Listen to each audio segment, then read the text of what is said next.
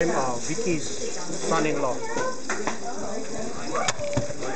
Cal's cutting up the, uh, what do you call this? The fish bone, the fish spine. This is Ono.